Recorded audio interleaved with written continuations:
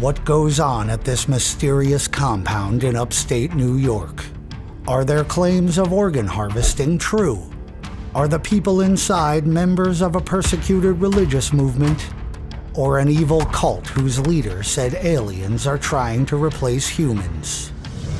On top of a mountain, at the western edge of New York's Hudson Valley, lies a secluded 400 acre campus known as Dragon Springs. This location is the headquarters of a spiritual movement called Falun Gong, the law wheel practice. Some say Falun Gong is dangerous.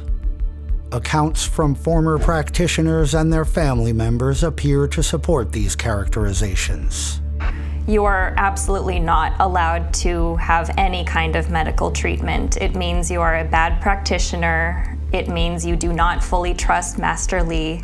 Often described as secretive, Falun Gong says it's necessary to protect against persecution and spying from the Chinese government. We have seen embassy cars that's roaming around. Falun Gong, also called Falun Dafa, was started in China in 1992 by Li Hongzhi. It's a form of Qigong, traditional meditation and breathing exercises, but with spiritual and supernatural aspects added, including levitation and other extraordinary claims. By the late 1990s, popularity of the practice grew, but estimates of the number of practitioners widely vary. The group claims its practitioners include as many as 100 million people in China, a figure disputed by the Chinese government. In 1999, thousands of Falun Gong practitioners staged protests throughout China. These demonstrations alarmed the Chinese government. Falun Gong was banned and labeled an evil cult. The government crackdown continued on members of the now outlawed Falun Gong meditation group. Beijing banned that group on Thursday after several days of silent protest.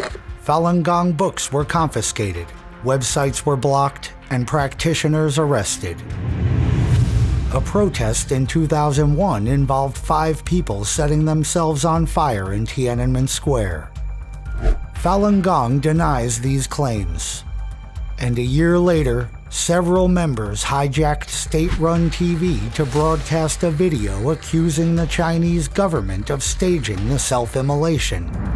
Human Rights Watch reported a violent crackdown, but also state almost all the information comes from either official Chinese government or Falun Gong sources. There is no sure way of checking the information from either source, making it impossible to fully assess competing claims. They have uh, engaged in illegal activities like harassing governmental agencies, harassing media unit, whoever who have a different uh, you know, view with them, they will subject them to harassment, to the siege. All these facts violate the criminal code of China. The Chinese government says Falun Gong is an anti society cult, which preaches heretical fallacies that are anti humanity and anti science, and exercises extreme mental manipulation on followers. Falun Gong practitioners outside of China have since established their own media to shape the narrative in their favor. This has led to what feels like a propaganda war, with sensational claims on both sides. I believe it's important for people to know the truth of Falun Dafa because the free world is at stake. According to the Falun Dafa website, practitioners can achieve supernatural abilities and develop a powerful law wheel that sits in the lower abdomen. The law wheel can both heal sickness and eliminate evil for others, rectifying all abnormal conditions.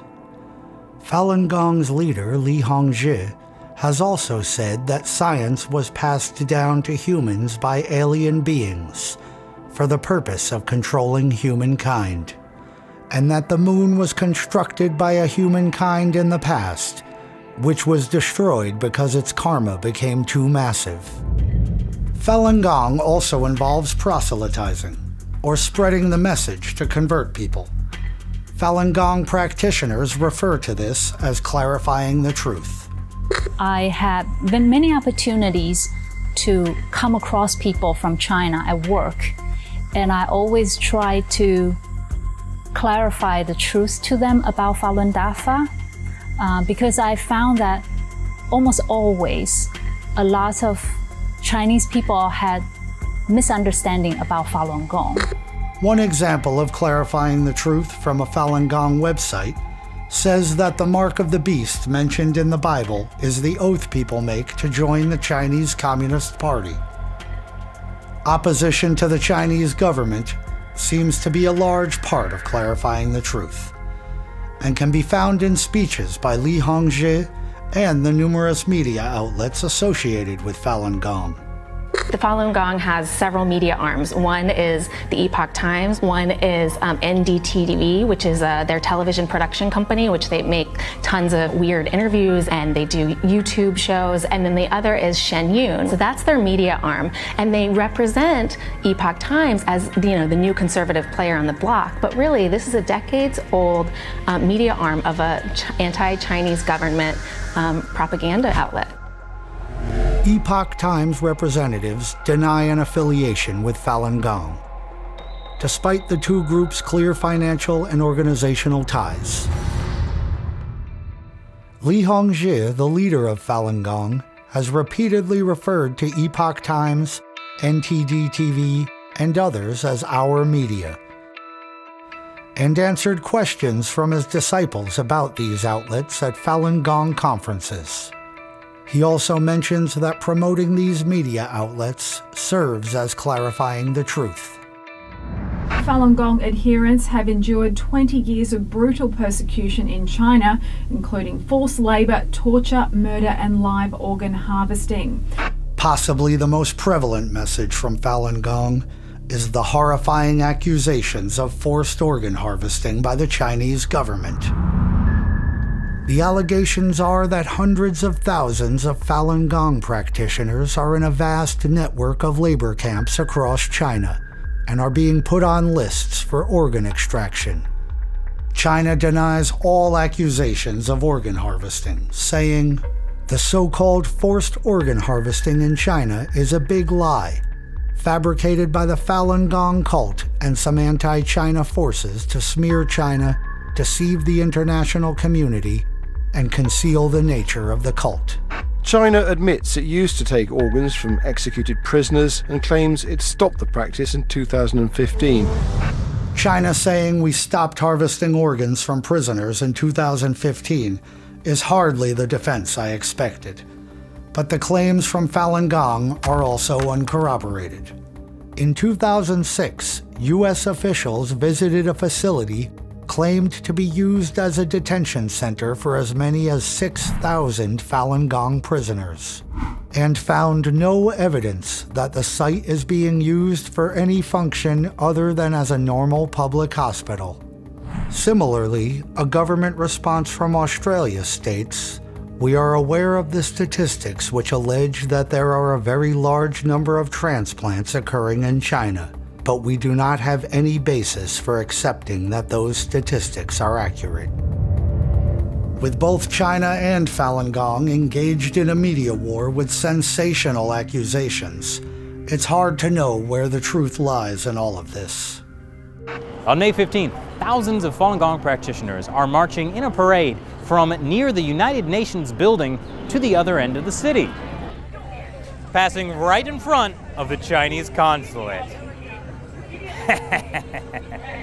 Some of the claims are so over the top that it almost sounds like the plot from a science fiction movie. A spiritual group with supernatural powers, including levitation and the ability to heal themselves, is being targeted by an evil, oppressive government that is harvesting their organs. The secretive nature of both sides makes it hard to know what to believe. Looking through Falun Gong websites, it's easy to see where anti science accusations and other criticisms come from. I think the truth probably lies somewhere between the competing claims of Falun Gong and the Chinese government. Thanks for watching. If you enjoyed this video, check out some of my other videos, which cover a wide variety of subjects.